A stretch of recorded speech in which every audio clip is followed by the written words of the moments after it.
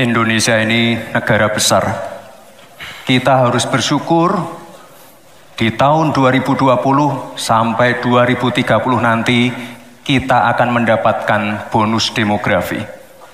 Saat itulah sebagian besar penduduk kita ada pada usia produktif. Ini kesempatan kita untuk meningkatkan produktivitas nasional.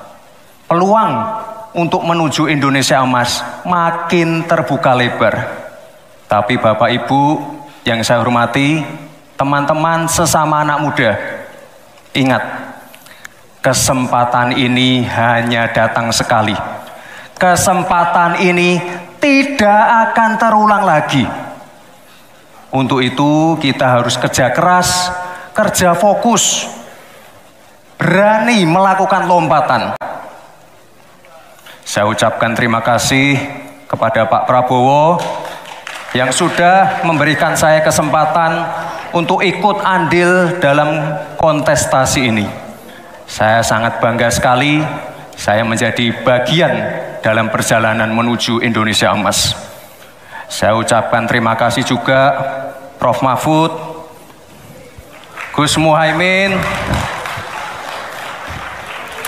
saya sangat senang sekali bisa satu panggung dengan orang-orang hebat seperti ini. Senang sekali anak muda bisa bertukar pikiran dengan ketua umum partai dan seorang profesor.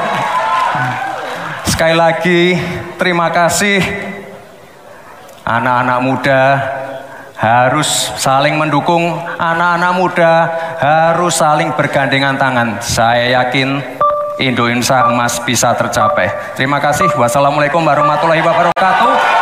Selamat Natal dan Tahun Baru.